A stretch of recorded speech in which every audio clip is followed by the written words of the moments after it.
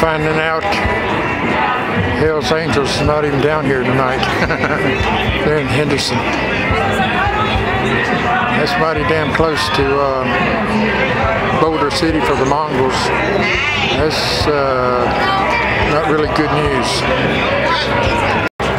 And I am going home. I probably get a little bit more video.